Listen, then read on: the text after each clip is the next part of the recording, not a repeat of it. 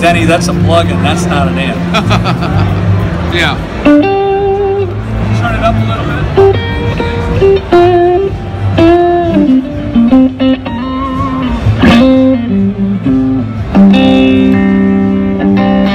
That's pretty crazy, isn't Yeah, it's it? pretty crazy. Yeah. All right, so my name's Paul Reed Smith, and um, Mick Olesh from Waves sat me down and said that they were had a new modeling technology for amplifiers, and I was like, "Yeah, right. We've been done this before." He goes, "No, we got this new thing where we do every part," and I thought that was cool. So I sent him one of your amplifiers, a hundred watt, and they put a thousand wires in it and measured at every single node on every single part and one of the people flew to my studio and plugged the uh, initial plug-in into my speakers, and it sounded just like the amp. I mean, identical. I had the amp there, right? And I went, well, that's interesting. I like that very much. So we sent them an Archon, and then eventually we sent them a Dallas.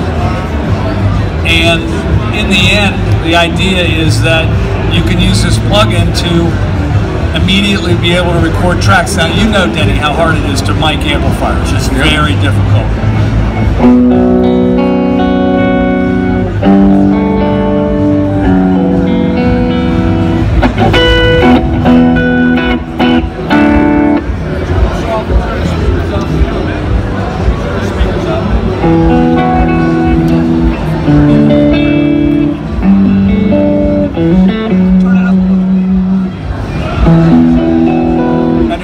If you were getting that sound and it was a black bolt test, you'd be hard pressed to know whether that was a plug-in or an amp. You would think it was an amplifier. Yeah. It's got the punch.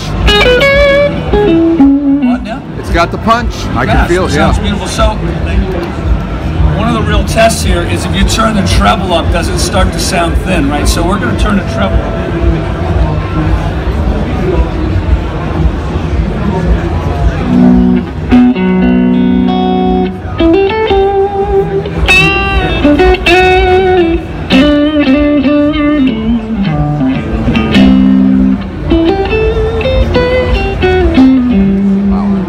Nobody turns the treble on a, a super reverb all the way up. They just don't do Right. it. So turn. If you turn the amp up a little bit, does it start to react like an amp, right?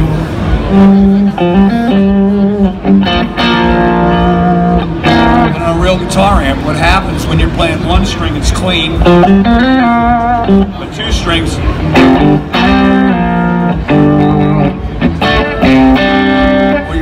light, it cleans up.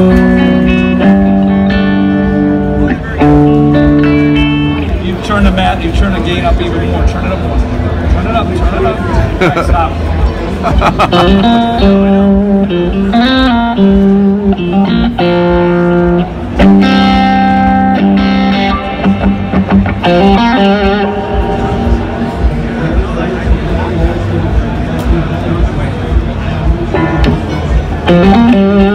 They modeled it so well that when you turn the, the uh, gain on the front of the amp up, the reverb is driven harder. I mean, that's they did it That's- literally wire by wire by wire by wire. crazy. And the idea here is that you're recording ready. You'll be able to use this. Now, we used old SM7 microphones, what Michael Jackson sang through for Thriller and what Bonnie Raitt sang through for Nick of Time. We used those on the cabinets, and we had cabinets with old uh, uh, M's um, from the old Celestion speakers. We had H's, we had 70, uh, 55 hertz M's, we had old 65s, we had a whole bunch of PRS speakers, we had 65s, we had um, vintage 30s, and all those cabinets are available. And what you're listening to is two of them mixed. You can mix them in stereo, or you can mix them in mono. So you pick two cabinets, and you get the ones you like the most, and you vary the amount any way that you want, right?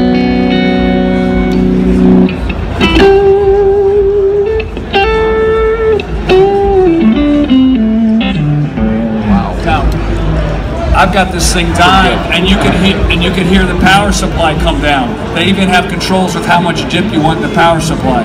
It's all sitting there for the taking. There's tuners there. There's also people yelling in the. All right, so let's go to another amp. Let's go to the amp that you have, Denny. Okay. Yeah. So this was an amp that we never released. It was called a V9 Blue Sierra, and you have both V9s and Blue Sierras. You have both of them. Yeah. And we never released it, but they had a 100 watt version of it.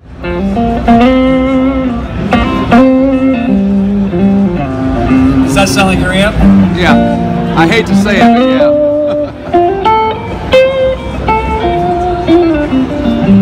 The Dallas, you can hear the mids were more scooped out. There was more bass and treble, and this is more mid-range forward, which is why you like using this thing in the studio, right?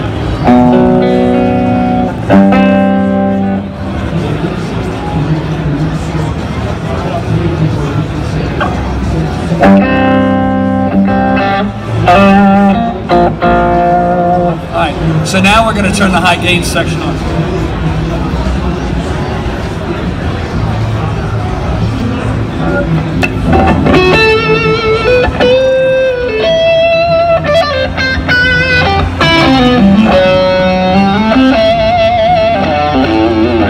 Sorry, That that's ain't- your amp in a that box. ain't right. That i- it is right. he owns the prototype.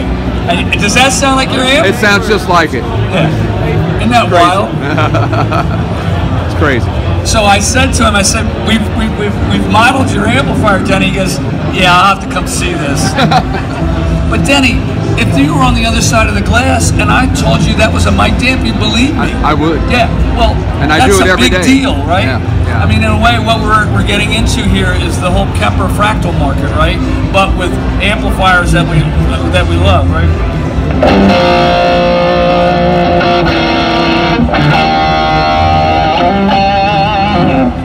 Sounds like it. Yeah. Sounds like your amp, right? So let's put the Archon. on. So we did an Archon. An Archon is our heavy metal amp that's on tour. These hundred watt.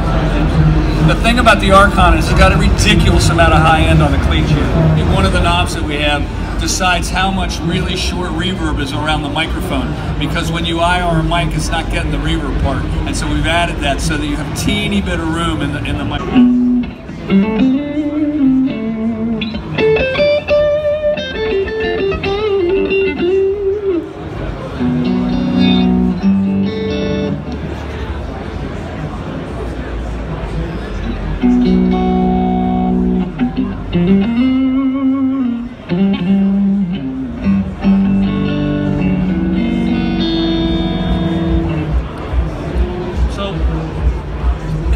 Kind of clean, and there's a lot of gain stages in this thing.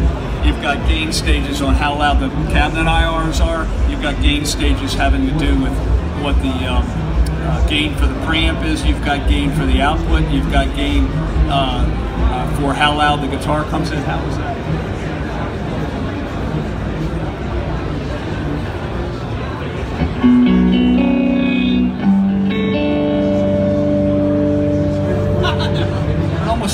Started on me. I did.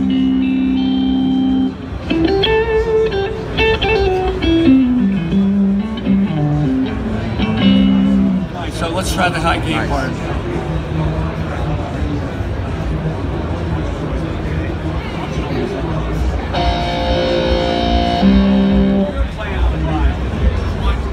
We're being measured. I couldn't figure out who had the other volume controller. It's, okay if, if being measured, that's fine, but I just couldn't figure out where the other knob was coming from. Uh,